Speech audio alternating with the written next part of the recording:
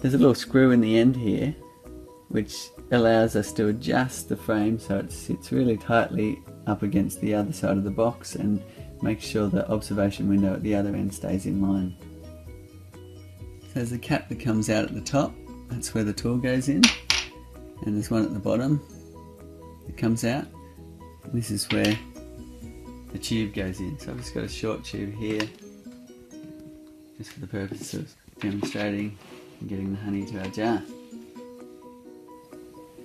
So you'll see two slots here. Now the bottom one's used to open the cells and harvest the honey. You can use one tool or two. I'm going to use two here because they'll work against each other and won't tip the frame over. So all I have to do is move these down like so. And what's happened is inside the honeycomb, the cells have split and turned into channels for the honey to flow down and out of the hive. So let's have a look at that. grab uh, a look down the honey tube. Oh. Look at that, isn't that absolutely gorgeous?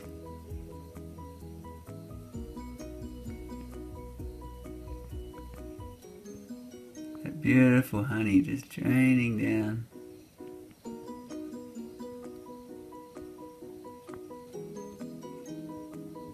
Wow. Let me get a bit closer. Ooh, there it goes.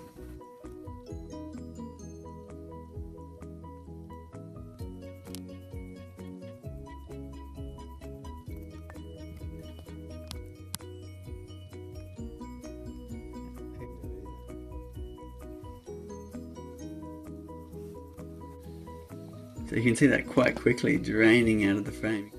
Look at that honey just pouring out. That beautiful fresh honey. So you notice it's pretty much free from wax. It just comes out pure and clean. There's no filtering needed. So you can see here the dark area, that's where the honey's still draining down. Where it's light, the honey's actually all drained out already.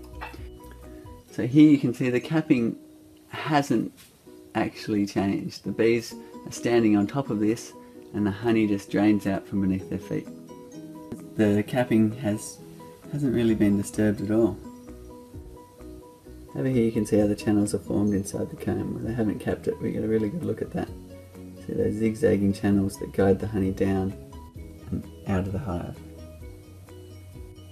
It's been about 10 minutes and we've got that much honey already about 1.5 kilograms.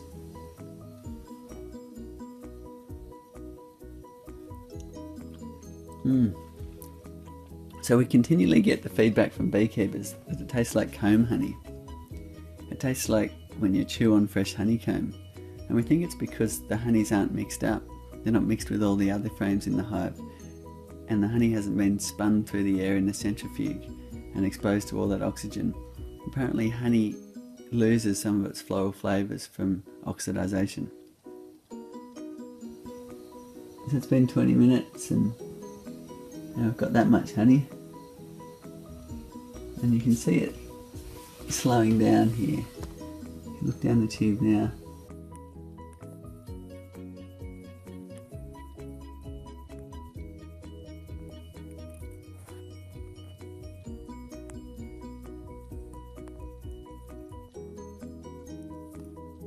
You can see the honey's drained out of this end frame view now. A little bit still there, draining down at the end.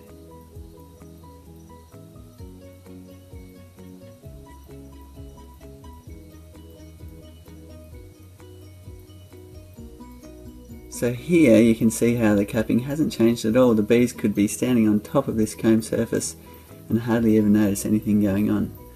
Whereas where they haven't drawn the honeycomb cells out as far, you can see there is a little bit of disturbance there.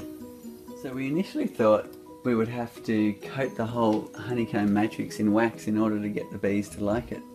But we didn't have to at all.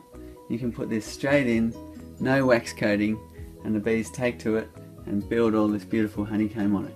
In fact, we've tested using traditional wax frames and these side by side in a box and they'll build on these and the flow frames at the same time.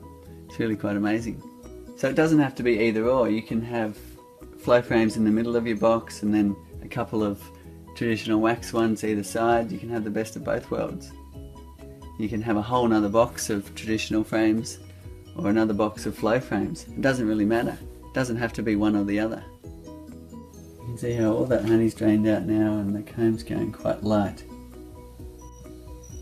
Still a few drips dripping from the ceiling. Gorgeous.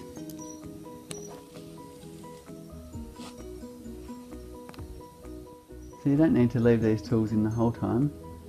Once you've opened the frame you can take them out and move on to the next one.